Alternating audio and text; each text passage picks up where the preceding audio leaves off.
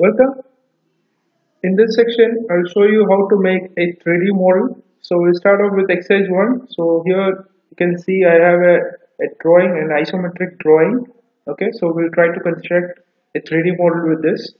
Okay, so uh, click on sketch, select a plane, click OK. So I'll draw rectangles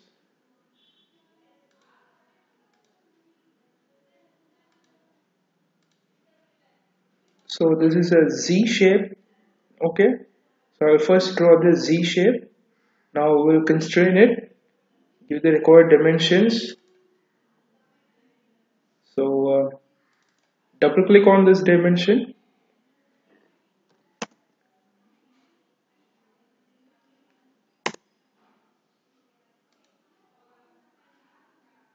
The height so this length is 40 and the height is 8 so this 8 is throughout in here. Okay. So throughout the profile it's 8 mm thickness. So we'll give 8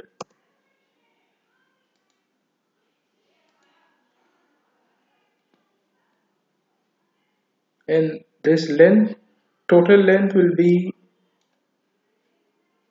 66 and from here it will be 66 minus 8 okay. That will be 58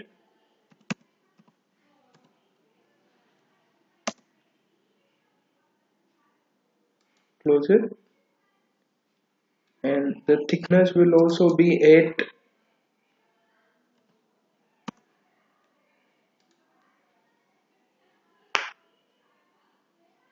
so here we have given this rectangle's length as 35 and also the height is also as 8 we'll take this as 35 enter. Close it. 8 enter. Close it. So finish the sketch. Give it an isometric view. And now extrude it extrude your profile to a thickness of 30 mm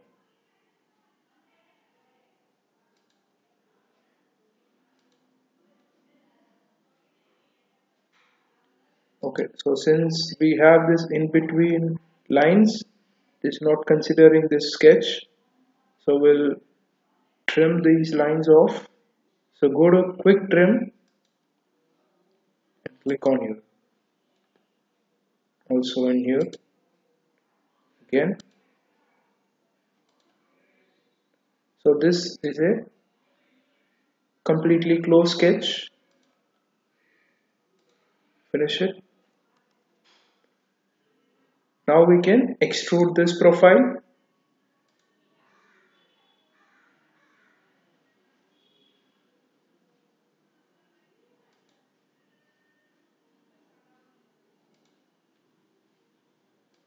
to a distance of 30 mm click on ok.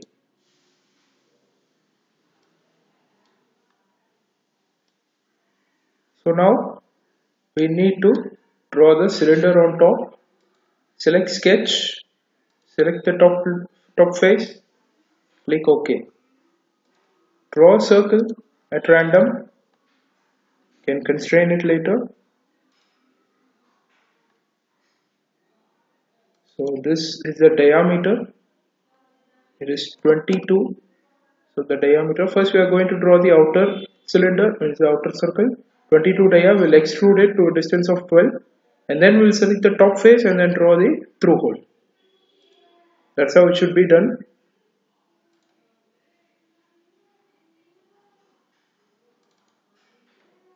So we have the position of the circle.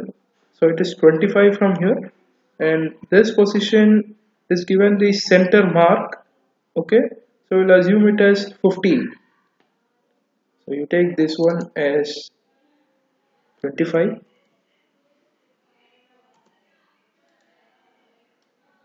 yeah 25 from this line. And this position will be 15 close. Finish the sketch. Click on end.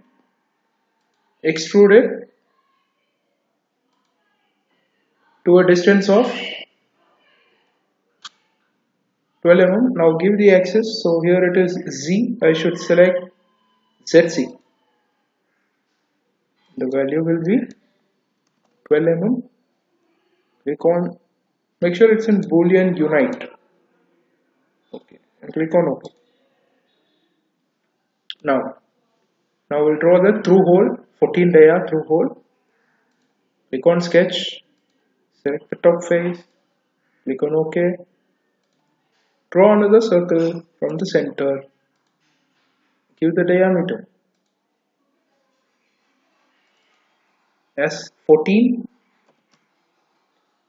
and close it finish the sketch.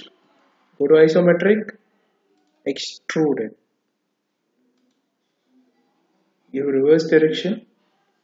And here you can give the value either 12 plus 8 is 20 or you can give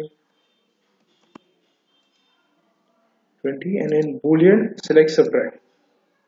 Click on it. Right? So we have constructed a through hole. Now now I need to draw this stiffener or rib in here. So for that I need a plane. Okay so I'll offset a plane from this face. Go to datum plane. Select this face. And the offset value will be 15 we are assuming it exactly in the center. So 15 reverse direction. Click on ok now select your datum plane click on sketch. Click on ok. Now just draw a, the the the slant line. Okay escape. Go to dimensions linear dimension. So here we have the base at exactly 23 from this point so we'll give the dimension first. So from here this point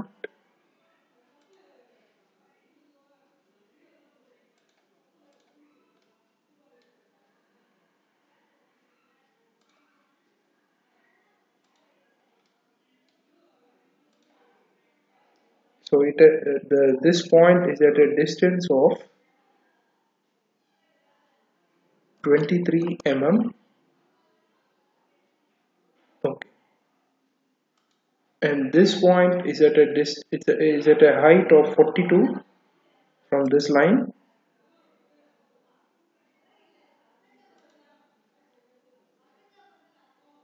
So we'll give 42 enter.